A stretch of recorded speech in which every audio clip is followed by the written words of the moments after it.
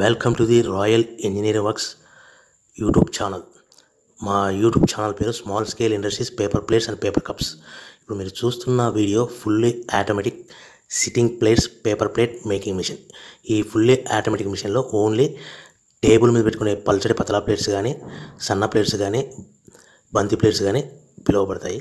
So ఈ మిషన్లో మనము ఓన్లీ గోల్డ్ కలర్ కానీ సిల్వర్ కలర్ కానీ పలుచటి పతలా ప్లేట్స్ మాత్రమే తయారు చేసుకోగలుగుతాము. ఈ ఫుల్లీ ఆటోమేటిక్లో మిషన్ వెనకాల మూడు నుంచి ఐదు రోల్స్ ఉంటాయి.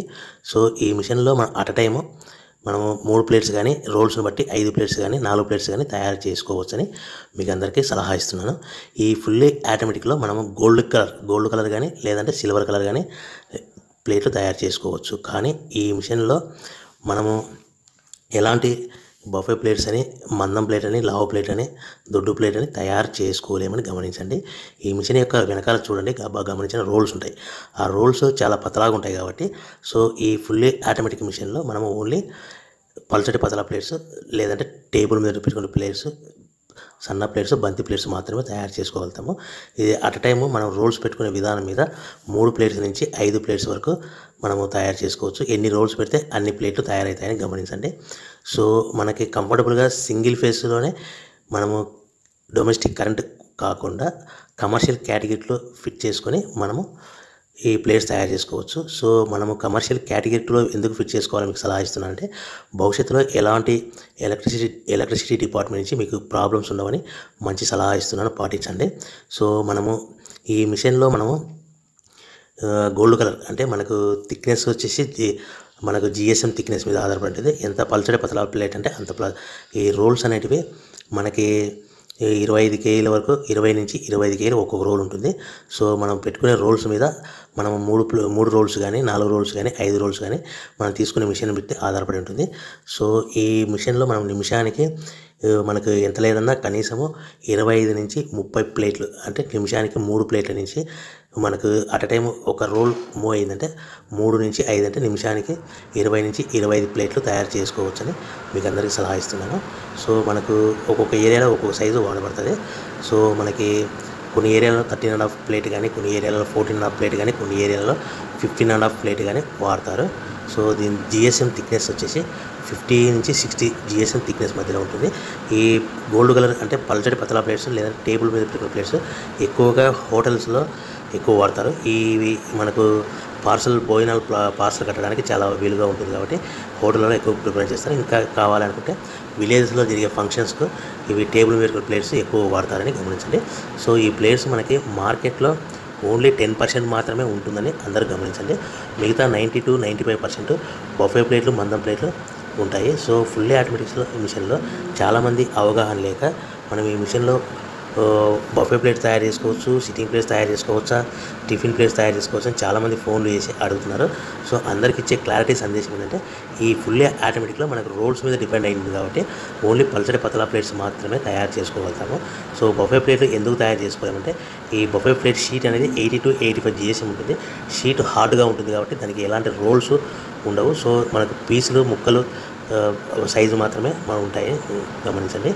ఈ ఫుల్లీ ఆటోమేటిక్లో మనకి నిమిషానికి ఎంత లేదన్నా మనకి అన్ని ప్లేట్స్ కలిపేసి మనకి అట్ టైం మూడు నుంచి ఐదు ప్లేట్స్ డిపెండ్ చేసుకుంటే మనకి నిమిషానికి ఇరవై ఐదు నుంచి ముప్పై ప్లేట్లు తయారు చేసుకోవచ్చని గమనించండి. ఈ ప్లేట్స్ అనేటివి ఎక్కువగా మనకి చిన్న చిన్న షాపులలో కానీ కిరాణా షాపులలో కానీ సూపర్ మార్కెట్లో కానీ టెంపుల్స్లో కానీ ఇవి ఎక్కువ సేల్ అవుతాయి. సో హోటల్స్లో కానీ ఎక్కువ సేల్ అవుతాయి. సో మనకి ఈ రోల్ అనేది కిలోకి మనకి తీసుకునే సైజుని బట్టి మనకి కిలోకి మనకి సైజుని బట్టి thirteen and half fourteen and half fifteen and half size ఉంటాయి. సో తీసుకునే సైజుని బట్టి మనకి కిలోకి అరవై నుంచి ఎనభై ప్లేట్లు తయారవుతాయని గమనించండి.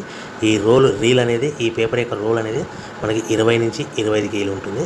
సో మనకి ఖర్చులన్నీ పోను పవర్ బిల్లు ఖర్చులన్నీ పోను. ప్లేట్ మీద మనకు మినిమం పది పైసలు మిగులుతుందని గమనించండి.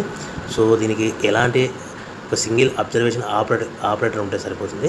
సో మనకు ఈ విధంగా మనకు ఇప్పుడు మీకు క్రాస్ మార్క్ గుర్తిన క్రాస్ మార్క్ ఇంటూ గుర్తుపెట్టి ఉన్న వీడియోలో బఫే ప్లేట్లు మందం ప్లేట్లు. సో ఇలాంటి బఫే ప్లేట్లు మందం ప్లేట్లు లావు ప్లేట్లు మనం ఈ ఫుల్లీ ఆటోమేటిక్ మిషన్లో తయారు చేసుకోలేమని గమనించండి. ఈ బొఫే ప్లేట్లు మందం ప్లేట్లు లావు ప్లేట్ అనేటివి షీట్లు ముక్కలు పీసుల్లాగా ఉంటాయి. సో ఈ పీసులు మనకు రోల్ రూపంలో ఉండదు కాబట్టి మనం ఇలాంటి ప్లేట్స్ ఈ ఫుల్లీ ఆటోమేటిక్లో కానీ లేదంటే ఆటోమేటిక్ మిషన్లో కానీ తయారు చేసుకోలేమని గమనించండి. సో మనకు ఇలాంటి బొఫే ప్లేట్లు మందం ప్లేట్లు లావు ప్లేట్లు తయారు చేసుకోవాలంటే దీనికి కంఫర్టబుల్గా ఉండే మిషన్ ఏంటంటే semi automatic hydraulic paper plate making machines. ఈ సెమీ ఆటోమేటిక్ హైడ్రాలిక్ మిషన్లో సింగిల్ డై మిషన్ అంటే ఒక ప్లేట్ తయారీ మిషన్ డబుల్ డై మిషన్ అంటే రెండు ప్లేట్ తయారీ మిషన్లో.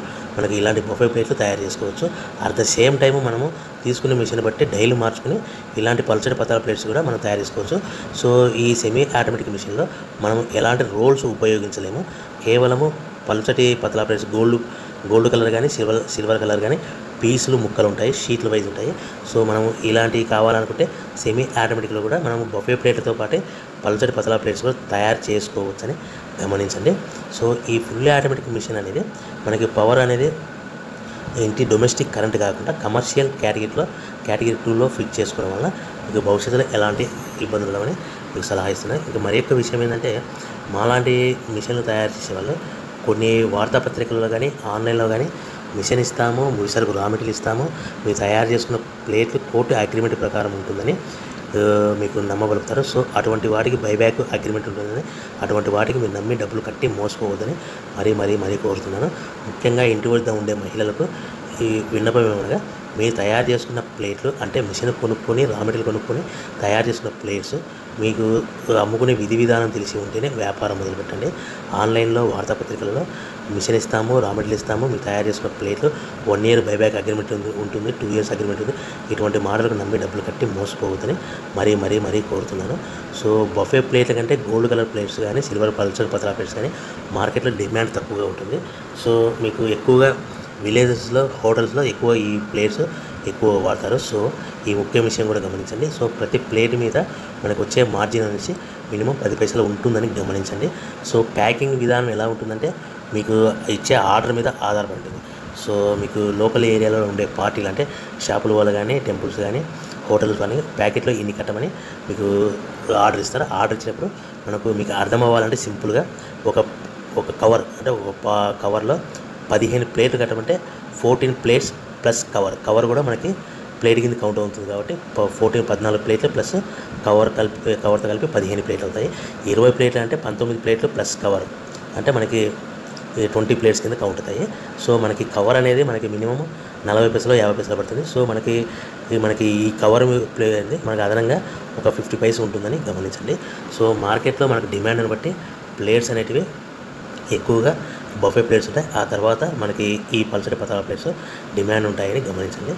సో మనకి ఈ ఫుల్లీ ఆటోమేటిక్ మిషన్కి మనకి ఎలాంటి మనం మాన్యువల్గా ఎలాంటి ఆపరేటింగ్ చేయాల్సిన అవసరం లేదు. జస్ట్ రోల్స్ తగిలించేసి ఒక అబ్జర్వేషన్ ఒక ఆపరేటర్ ఉంటే సరిపోతుంది. సో మనకి చాలా ఈజీగా ఈ గోల్డ్ కలర్ ప్లేట్స్ కానీ లేకపోతే సిల్వర్ కలర్ ప్లేట్స్ కానీ వారి వారి ప్రాంతాలలో డిమాండ్ని బట్టి ఏ కలర్ అయినా మనకు ఈ ప్లేట్స్ తయారు చేసుకోవచ్చు. సో కొన్ని ఏరియాలలో థర్టీన్ థర్టీన్ అండ్ హాఫ్ కానీ కొన్ని ఏరియాలలో ఫోర్టీన్ అండ్ హాఫ్ కానీ కొన్ని ఏరియాలో ఫిఫ్టీన్ అండ్ హాఫ్ ప్లేట్స్ వాడతారు.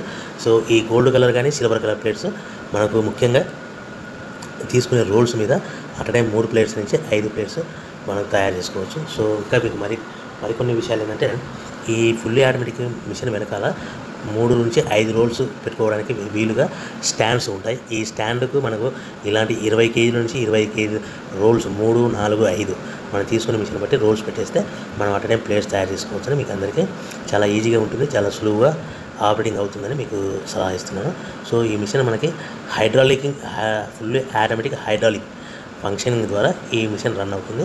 ఈ హైడ్రాలిక్ ప్రెజర్ ద్వారా పైనుంచి డై కిందికి మూవ్ అవ్వడం వల్ల అట్ టైం మనం తీసుకున్న రోల్స్ ఈ ఈ మిషన్లో రోల్స్ మినిమం నాలుగు రోల్స్ అమర్చబడి ఉన్నాయి. సో మనకు అట్ టైం మూడు నుంచి నాలుగు ప్లేట్లు తయారు చేసుకోవచ్చు.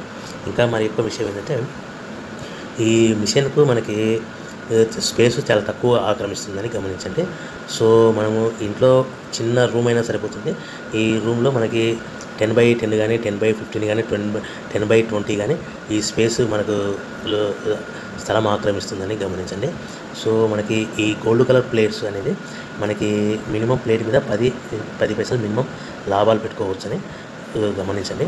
సో ముఖ్యంగా మాకు ఈ రోల్స్ అనేటివి మనకు కిలో ఎంత ఉంటుందంటే అప్రాక్సిమేట్గా తీసుకునే సైజుని బట్టి కిలో వచ్చేసి యాభై ఎనిమిది రూపాయల నుంచి అరవై ఐదు రూపాయల మధ్యలో ఉంటుంది. So thirteen and half size కానీ ఫోర్టీన్ అండ్ హాఫ్ సైజు కానీ ఫిఫ్టీన్ అండ్ హాఫ్ సైజు మీద మనకి యాభై ఎనిమిది రూపాయల నుంచి అరవై ఐదు రూపాయలు కిలో ఉంటుందని గమనించండి. కిలోకి మనం తీసుకునే సైజుని బట్టి for example fifteen and half అనుకోండి. Fifteen and half roll paper size అనుకోండి.